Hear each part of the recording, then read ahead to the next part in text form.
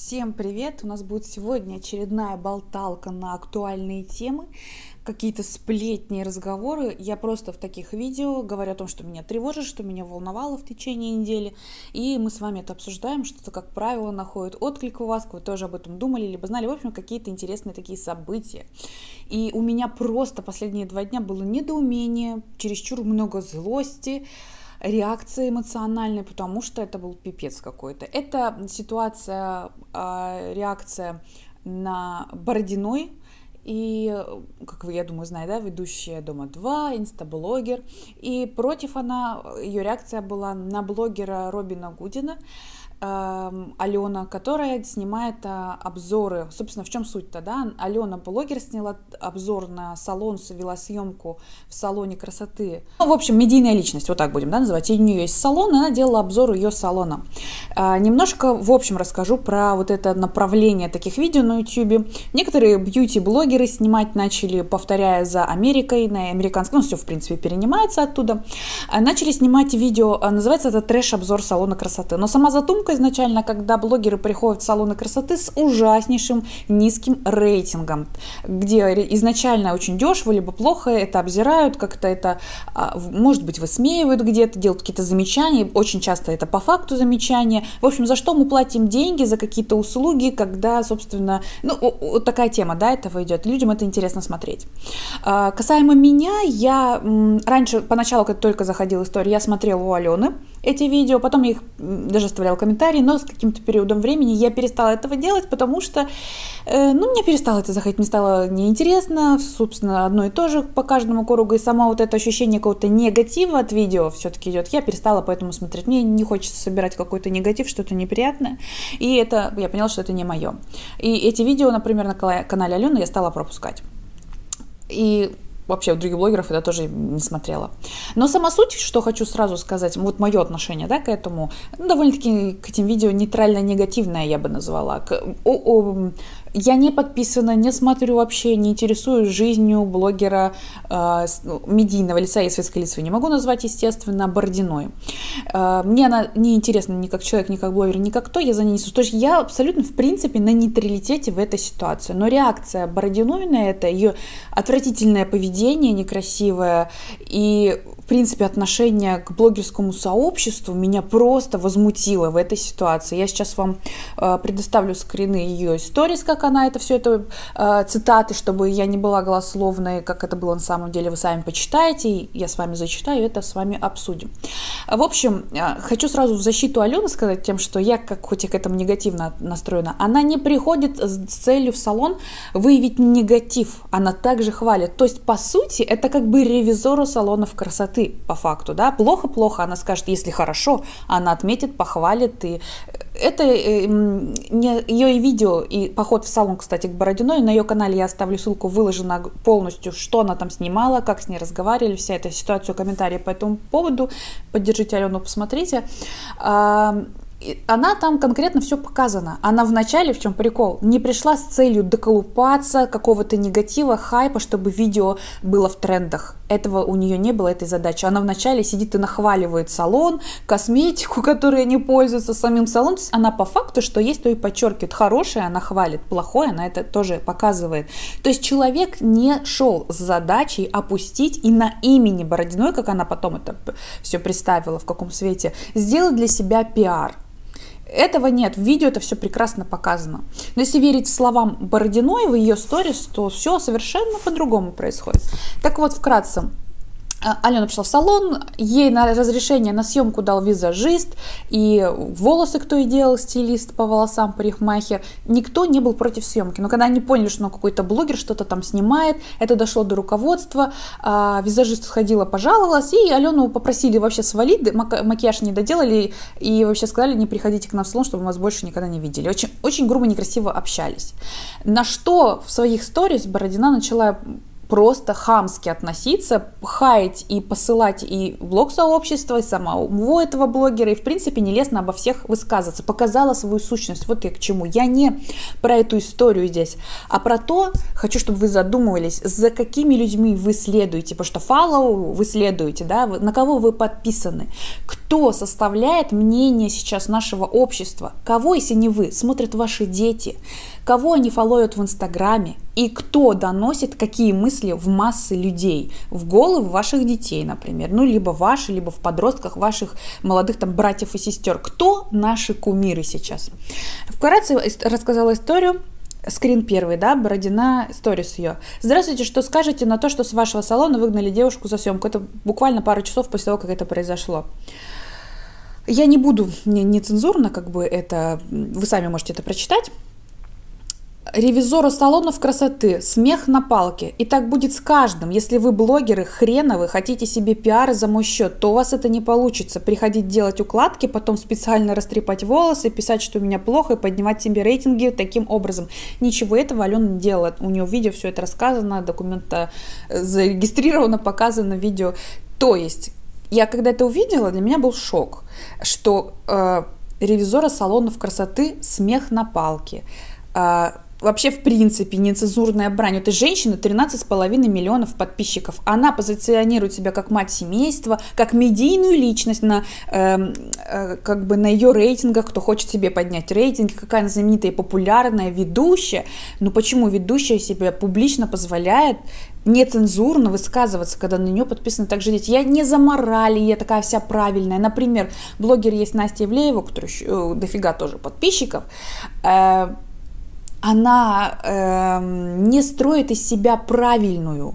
Она как свой в доску парень, да, она может где-то мотягнуться, как-то высказаться. Но если она такое бы, она даже так грубо не а, относится, не высказывается, хотя она гопушка с района, вот так ее образ, да, она такая есть, ее нутро, но человек меняется, растет, это прогресс этот виден в ней, да, какая-то культура появляется. Но здесь просто, вот оно суть человека, мат-перемат, оскорбления какие-то, когда человек даже в этом не разобрался. Но мы не берем, в частности, эту историю, it's, it's okay, я думаю, что у нее были недопонимания, сотрудники салона ей не так преподнесли информацию, но она же среагировала сразу. Следующий вопрос, как относитесь к блогерам, типа в общем? Если блогеры, есть блогеры, которые полезны и интересны, то есть я понимаю, полезно и интересно те, кто делает тот контент о тебе, вот что-то хорошее говорит тебя в попу целует, говорит о тебе только хорошее. Такие блогеры полезны и интересны, предвзятые которые действительно талантливы, за ними прикольно наблюдать. А есть идиоты, блогеры, говорит сама Бородина, блогером являясь, потому что инстаблог есть идиоты, которые набирают подписчиков за счет того, что срут других людей. Срут слово, блин. Нельзя это культурно просто написать. Есть блогеры, которые строят из себя ревизора, сыкуха, приходящая к тебе в салон за куском пиара, съемки, если съемка, если запрещена, значит мы аккуратно, брат, та-та-та-та-та, можете дальше дочитать. Сыкуха, это оскорбление. У меня просто нет слов. Это человек с миллионами подписчиков мать семейства, которая себя позиционирует как бизнес-леди, с которой надо брать примеры. Вот с этого надо, мой ребенок, например, должен вот с этого брать пример. Вот этого хамского отношения к блогерам. А так подумать, а Бородина, а кто она вообще? Да, она ведущая, но ведущая чего? Если бы она была телеведущей с прекрасным образованием в этой тематике, то и двумя высшими, например, да, и если бы она вела какие-то другие проекты на других каналах, если бы у нее был карьерный рост в этом плане, рост личности хотя бы, культуры и образования, я понимаю, можно было назвать человека ведущим, но когда ты сидишь, блин, 10-15 лет и ведешь грязное ток-шоу на телевидении, я не спорю, да, оно идет, у них есть свои зрители, это все понятно, но оно построено, это ток-шоу, на каких-то низменных интересах, на каких-то животных инстинктах людей.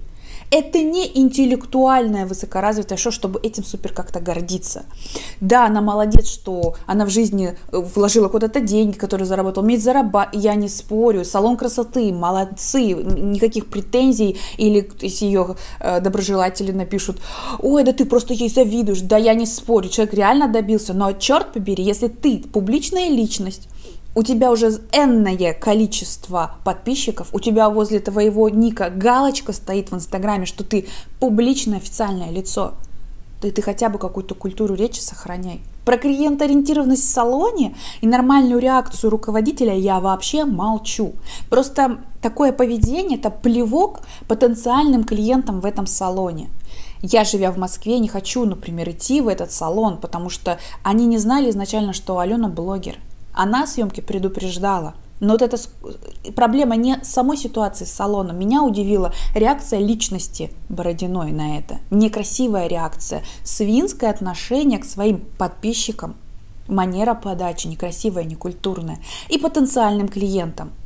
Я не пойду... Ой, она спровоцировала съемкой. Я, например, не пойду а, в салон и не буду у нее снимать. Я приду за какими-то услугами.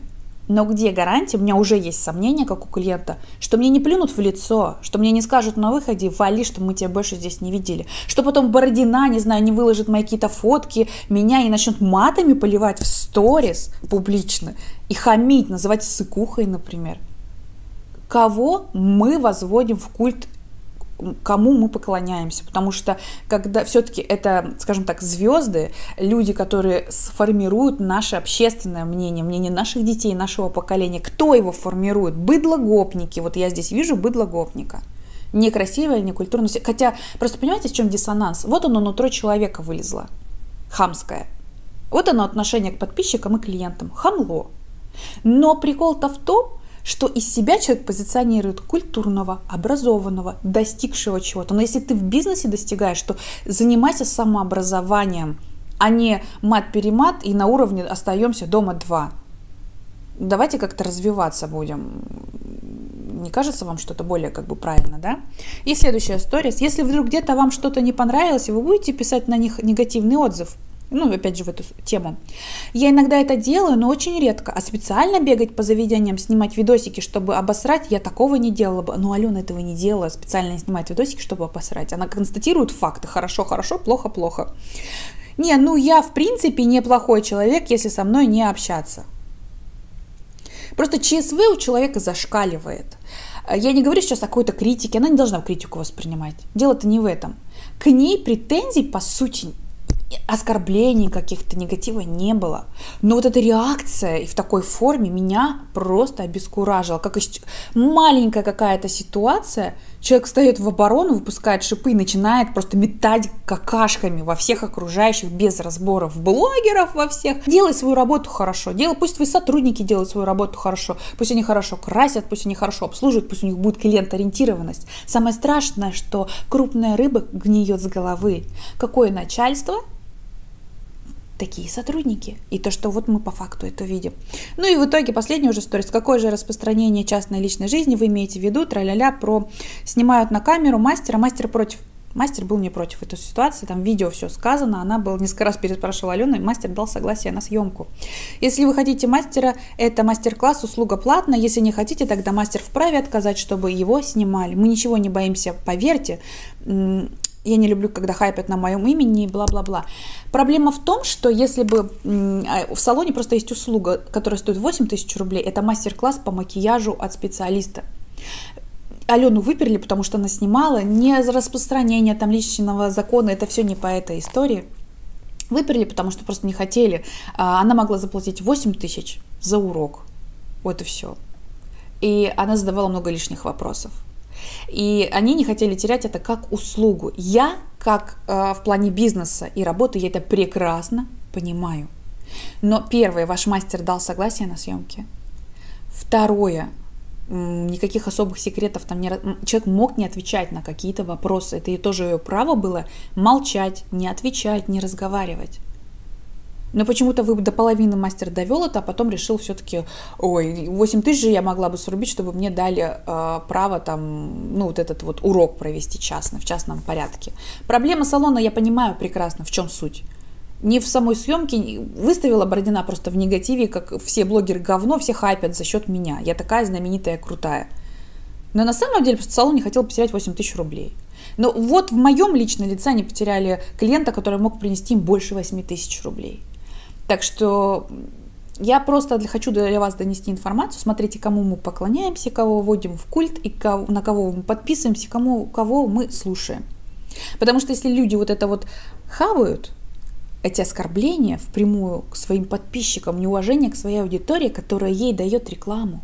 Благодаря подписчикам у нее есть реклама, благодаря подписчикам ее берут куда-то тамадой. Вы помните историю про ее гонорары и все прочее? Что вы думаете по этой истории? Перед тем, как написать, если вы были не в курсе, посмотрите видео. Фотки я вам прикрепляю в видео, пожалуйста, знакомьтесь. Посмотрите видео Алены, я оставлю ссылку. Что вы думаете по этому поводу? Я не про саму ситуацию, как блогеры есть, конечно, которые выводят на эмоции, хотят похайпить и хотят негатива, чтобы был контент. Я про отношения публичных медийных личностей к, своей, к своим подписчикам, которые, по сути, их империю и составляют. Вот о чем это видео. Жду ваших комментариев по этому поводу.